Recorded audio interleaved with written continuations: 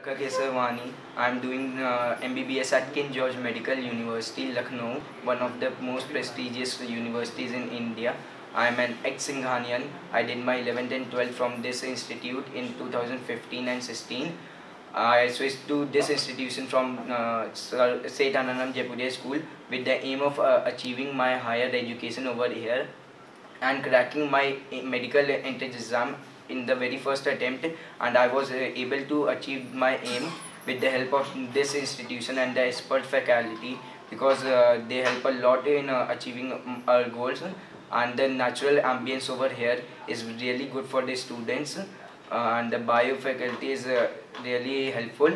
We get an ample time for self study and uh, the teachers are always ready for support